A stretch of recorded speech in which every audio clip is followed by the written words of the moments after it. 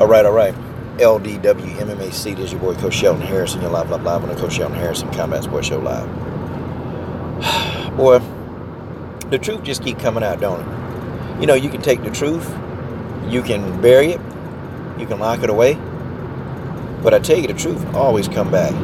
Y'all ever know, like, you know, somebody who was killed years and years ago, and the person try to cover it up, and then, you know, you got these investigators, these forensic scientists, they, they end up finding out the truth, and then the person years later, 20, 30 years later, they get arrested. See, eventually, it don't matter what you do, the truth always comes to light. It may take a long time, but the truth is going to come to light. And, you know, Cris Cyborg did, you know, an interview with Ariel Helwani yesterday. And, um, you know, now as everything begins to come into play, now we begin to understand just what the UFC is up to. See, now we know. We know without a shadow of a doubt. And see, people were saying, well, Cris was offered to fight, you know, but Cris turned down the conditions. Okay. So let's think about this. What were the conditions? Cris Cyborg was offered a six fight contract, and you know, probably in your head, you're thinking, man, that's good. Cris should have took that. I would agree. Yeah, Cris should have took that. But what Cris uh, Cyborg indicated is that it was a six fight deal fighting once a year. Now, I don't know about you, but nobody in their right damn mind is going to do that fighting once a year. Cris Cyborg is 34 years old, okay? The problem with that is Cris Cyborg isn't going to be in the game till she's 40.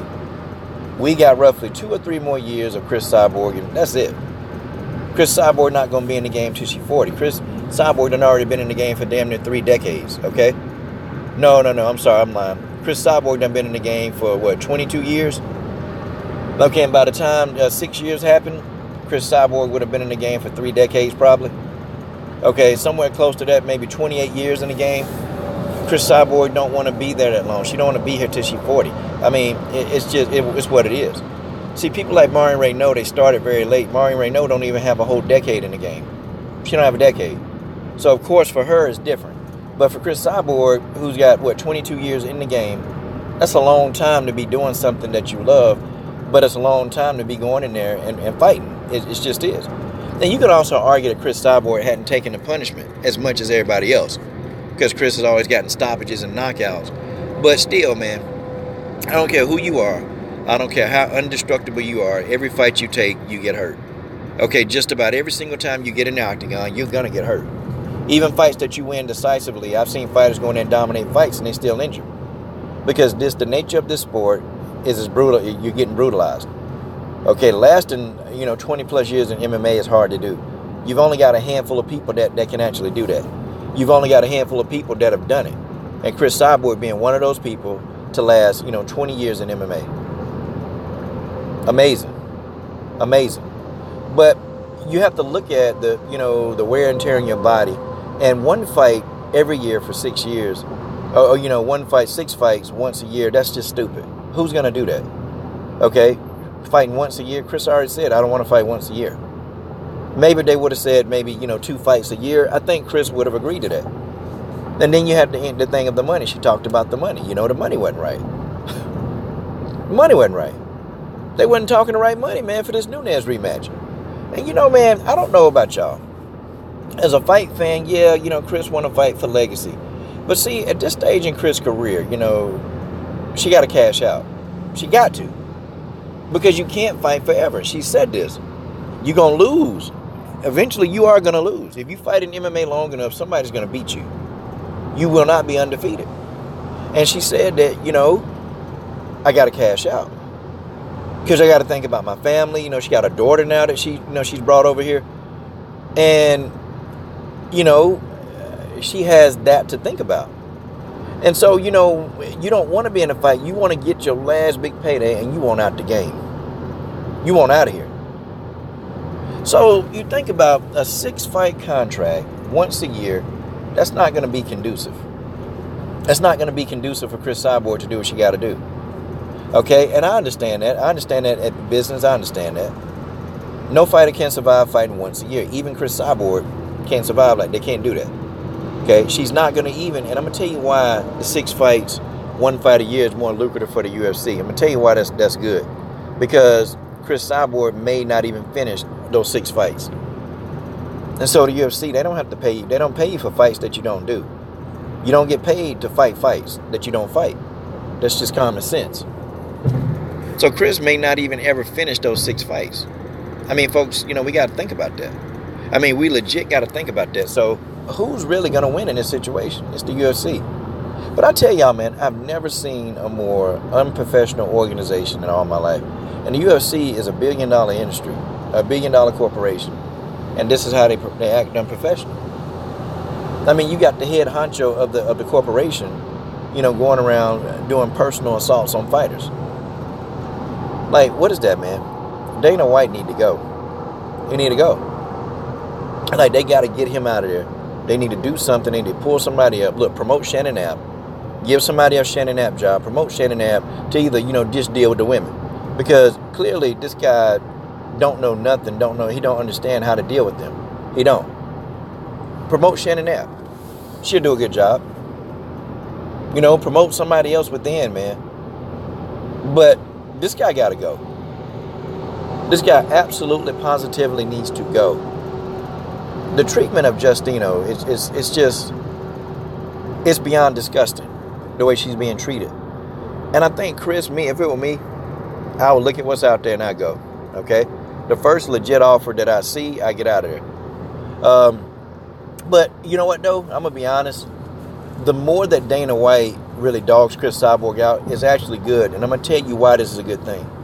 See, the more that Cris is being dogged out, the more that she'll be worth to some other organization. So see, Dana White, they, they don't even know that they're they're helping Cris. They're helping Cris make more money. They're legit helping Cris make money. Okay, they're, they're helping her do more because they keep dogging out. And so then, therefore, these other organizations, they're going to want to offer Cris the money.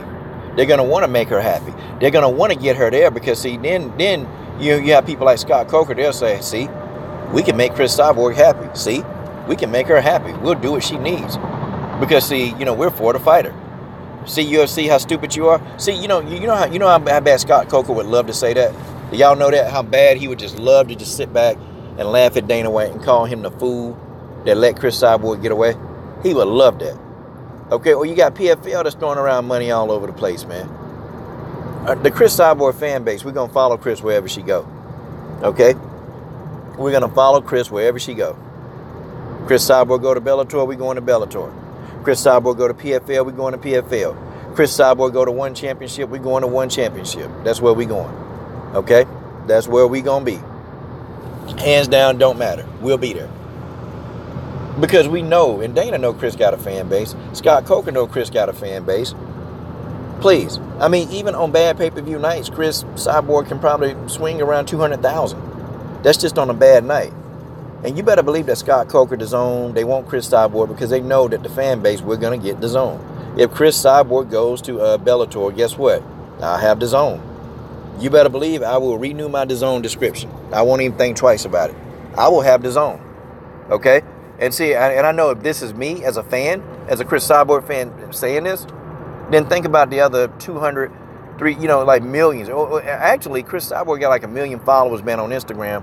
But, you know, all of those people not going to buy pay per view. You probably have to say maybe a quarter of a million of those people, they'll buy pay per view. So if you think those 250,000 people won't buy the pay per view or get DAZN, you crazy. Cris Cyborg by herself can bring about 200, 250,000 more people to DAZN right now. I know I'll get my DAZN membership. I, I, I, I get it. I'll pay for it. Don't care. I definitely pay. To watch Cris, I sure will. Is what it is. I mean, already I bought DAZN. I got DAZN for a month. And, uh, you know, when Cindy Dandois went to DAZN, when she went to DAZN to do a fight, guess what? I bought it. I bought it. And I'm and I probably get it again when Denise Kielholtz when she fight. I'll be going again. It is what it is, man. It is what it is. But it's the amount of hate that this woman is getting.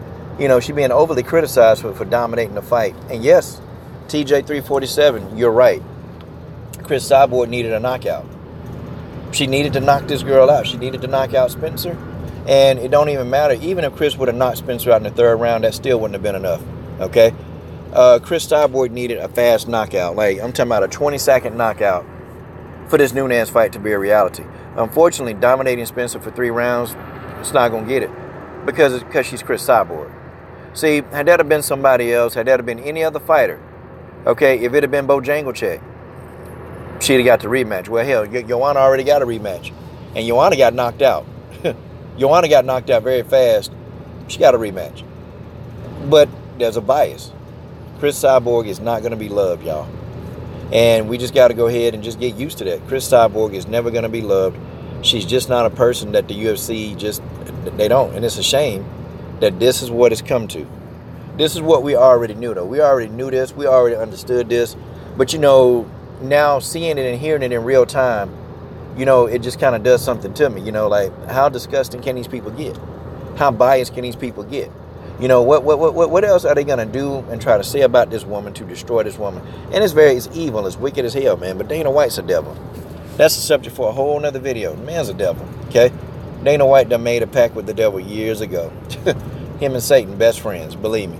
If I really told you what I knew about that, Dana, Dana, and the devil, see, I can never put that out there. Though. I can't put it on YouTube. Definitely can't. Because too many of the minds can't handle what I know about Dana and the devil.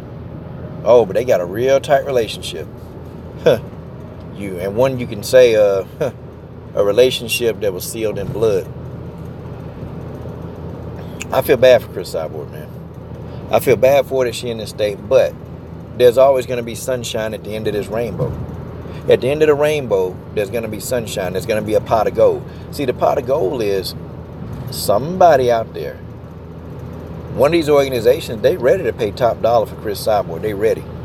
They ready to do it. They ready to do it. And I tell you who I think it is. I think Scott Coker coming this week, this week right here. I think Scott Coker gonna make a play for Cris Cyborg. I think Scott Coker is gonna give Cris Cyborg a bona fide offer that she can't say no to. And I'm thinking seven figures. Y'all heard me say it. I think Scott Coker gonna come with money in hand, and he's gonna offer Cris seven figures. Coach Adamas told you.